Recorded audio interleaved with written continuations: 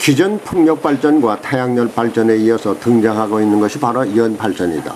이 연발전 시스템은 시설 비용과 면적을 아낄 수가 있어서 일부 선진국에서 실용화되고 있지만 많은 개선점들이 제시되면서 보다 향상된 연발전 시설을 위한 연구가 국제사회에서 진행되고 있다.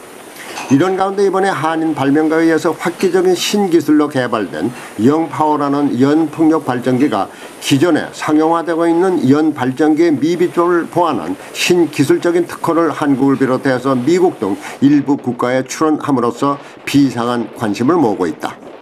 이 영파워의 핵심 기술을 요약해 보면 우선 영파워에 탑재되어 있는 두 개의 연에 헬륨 튜브가 장착되어 있어서 연의 초기 부상을 돕는 중요한 역할을 수행한다는 것이다. 또한 영파워의 간단한 발전 구조는 발전 건설비 최소화를 유도하는 또 다른 기술적 특징을 보유하고 있다는 점이다.